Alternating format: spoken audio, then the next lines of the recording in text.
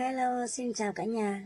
Lại là cô Hồng đây. Hôm nay cô lại tiếp tục chia sẻ với à, quý thầy cô, quý phụ huynh cùng tất cả các à, bạn học sinh một à, video cảm nhận về Futureland. Uh, và Futureland là gì? Futureland là một ứng dụng về giáo dục về các nội dung dạy học cho các con về ngôn ngữ như tiếng Anh à, các tiếng Nhật, tiếng Hàn à, một số các sản phẩm khác. Đấy. thì à, mỗi người chúng ta lựa chọn một cái công việc hay một sản phẩm nào đó để đưa vào chương trình học hoặc dạy học thì chúng ta đều có lý do riêng của mình đúng không ạ?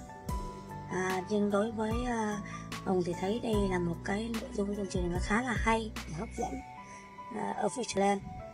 Và Futureland thì à, chúng ta thấy được là một cái điểm mạnh rất là tuyệt vời đúng không ạ? Mà ai khi sử dụng cái app Futureland đều cảm nhận được điều đó.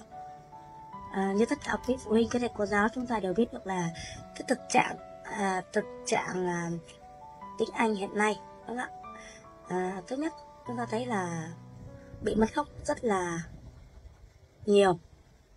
Hầu như cái ừ, thời à, 8x gặp à, 7x thì chúng ta chưa cần nói đến nhiều đúng không ạ? Nhưng mà thời 8x à, qua tới chữ x thì chúng ta thấy hầu như là học tiếng Anh đó nhưng mà bị mất gốc rất là nhiều.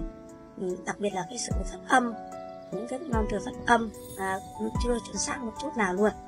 Đó.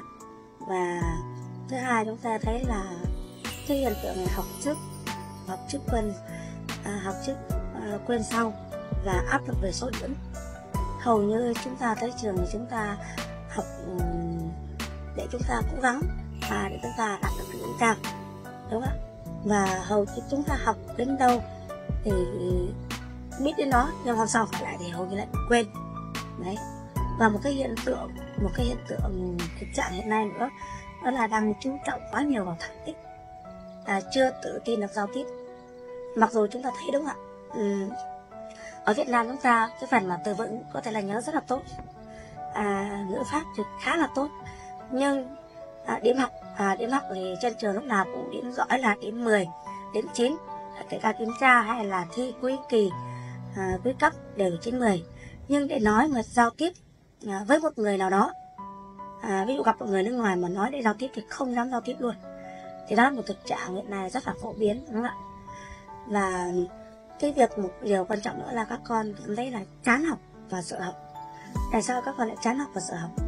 Bởi vì khi mà các con bị mất gốc các con không có tự tin. À các con không có cái nguồn gốc à, không có đam mê thì tự nhiên các trong các con sẽ có cái sự chán nản và không có học môn đó.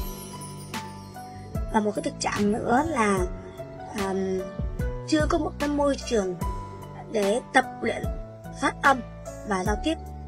Đó lên trên lớp thì chúng ta thấy là thật ra một cái tiết học chỉ có 45 phút thôi. Đúng không ạ? Một tiết học 42 phút mà một tuần nếu như học với giáo viên trên lớp đã là hai tiết.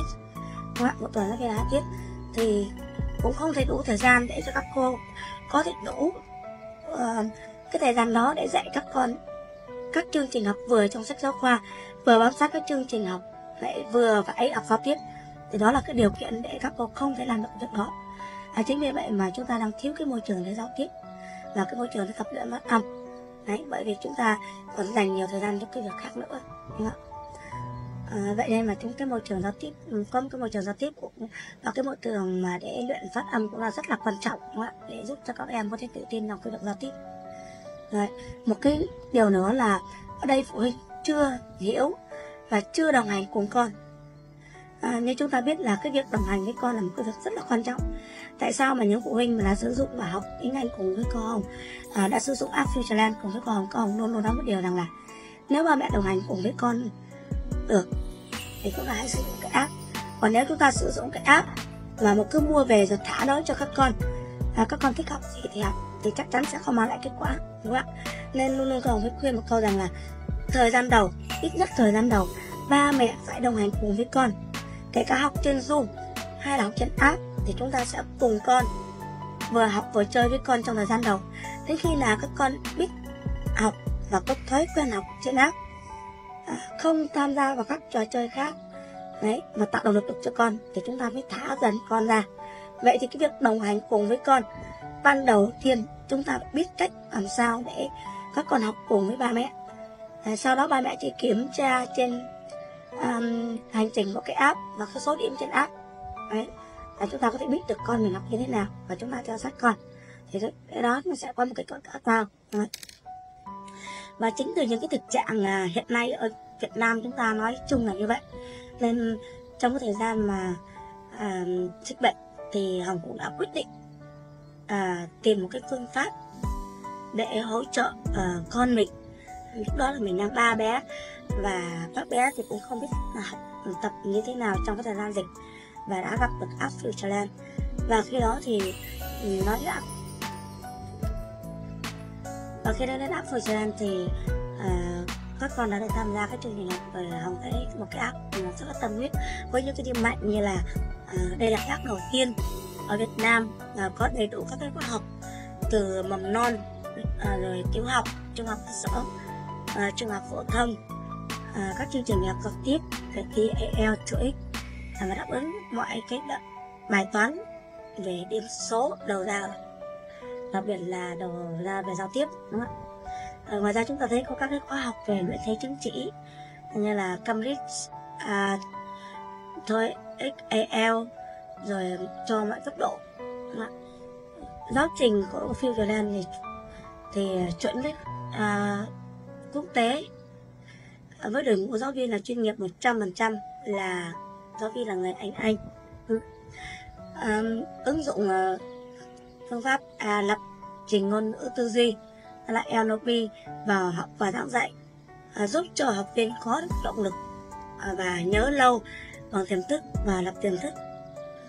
Học viên có ừ, học viên ở trung tâm trường học à, à, giúp cho những giáo viên à, làm đây là một cái công cụ để giảng dạy và nhờ cái kế bài giảng quan sát lộ trình sách giáo khoa từ lớp 1 đến lớp 12 và công nghệ trí tuệ à, thông minh lại à, IA à, giúp cho học viên luyện nói à, luyện tương tác cùng nhau là chỉnh phát âm à, rất là chuẩn theo à, người bản xứ đặc biệt là cái chương trình 66 ngày giao tiếp là một cái chương trình độc quyền của Việt Nam áp dụng phương pháp ám thị ngôn ngữ. À, phản xạ 3 giây giúp cho người đọc không cần phải suy nghĩ và chúng trả lời một cách rất là nhanh chóng. Đặc biệt đây là một cái um, bài toán giải quyết được cái bài toán phụ huynh đồng hành cùng với con. À, phụ huynh không biết về tiếng Anh nhưng có thể trên cái giáo trình của App Futureland chúng ta có đồng, đồng hành cùng với con một cách là rất là dễ dàng. À, ngoài những cái chương trình học về tiếng Anh thì uh, thấy ờ, uh, Futureland còn có những cái app uh, đa ngôn ngữ khác như là tiếng Nhật, tiếng Hàn, tiếng Trung. Đấy giúp cho tất cả uh, quý phụ huynh à, chúng ta muốn cho con tham gia các chương trình học về các nước khác. Chúng ta có thể sử dụng được trong cái app à, là dạ. dạ. à, vậy thì à, à khi nói đến Futureland thì chúng ta thấy là một cái app rất là tuyệt vời xứng đáng để tất cả quý phụ huynh và quý thầy cô chúng ta có thể tham gia vào hành trình Futureland để làm sao chúng ta có một cái sản phẩm tốt nhất để giúp cho các con em chúng ta để giúp cho học sinh của chúng ta là một cách đơn giản nhẹ nhàng mà đã yêu thích nhất và giúp các con tự tin trong công việc học tiếng Anh ngày càng kết quả và à, tốt hơn.